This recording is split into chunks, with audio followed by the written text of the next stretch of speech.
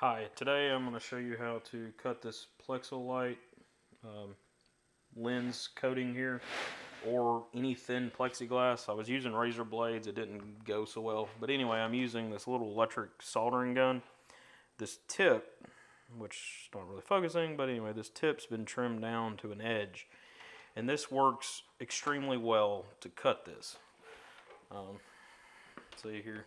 And I've got it taped so that it's on the high setting also, you need to make sure you've got ad adequate ventilation because this thing stinks to high heaven. But anyway, it's cutting. See how easily it's cutting this? And it's giving a nice little edge on it as well. Um, I'm cutting along this little mark line I've got on here.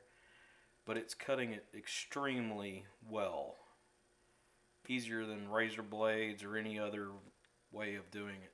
I've got a roto zip that works fairly well on doing this too. The problem with that is you get dust and a mess. Now, I have found that even if it doesn't cut all the way through, if you take it from the bottom and then just kind of pull it to you, see look, hear that little snap?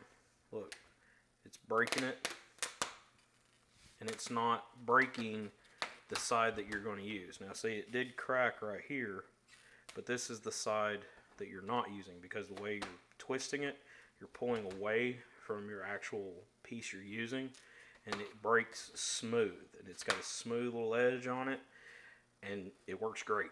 So if you're wanting to cut this or any thin plexiglass, I recommend using a solder gun and very adequate ventilation. Works great. Thanks.